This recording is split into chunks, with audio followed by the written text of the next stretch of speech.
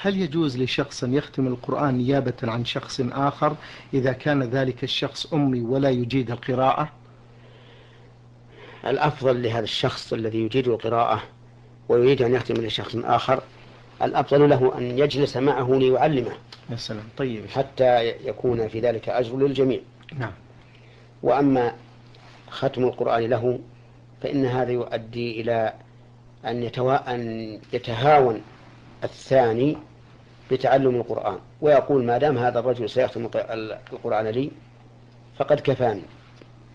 فلا ينبغي أن يفتح هذا الباب. بل آه، الأفضل كما أسلفت أن يعلم هذا الأمية كتاب الله ليحصل له على ليحصل على أجر التعليم.